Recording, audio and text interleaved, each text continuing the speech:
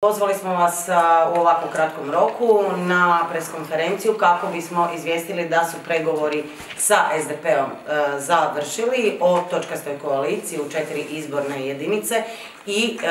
da je krajnji dogovor takav da se ne izlazi zajedno u te četiri izborne jedinice, odnosno da nemamo takozvanu točkastu koaliciju.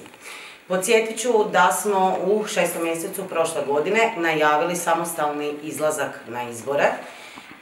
da smo ostavili mogućnost da točkosto, dakle u pojedinim, ali u manjem broju izbornih jedinica, izađemo i sa drugim strankama u takozvanu točkastu koaliciju i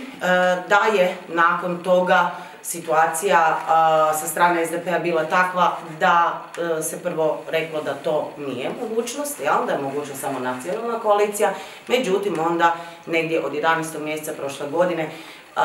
je SDP pozvao da se ipak da ponuda i za te četiri izborne jedinice.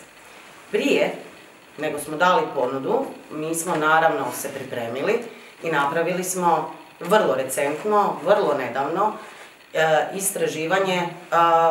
o tome kako stojimo u te četiri izborne jedinice, upravo zato da bi naša ponuda bila realna. I nakon što smo dobili istraživanje i podatke tih istraživanja, iznijeli smo u pregovorima našu ponudu.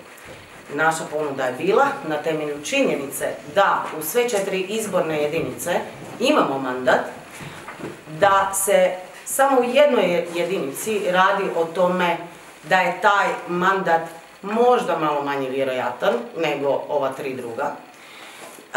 i da isto tako u dvije od te četiri izborne jedinice donosimo puno više od jednog mandata,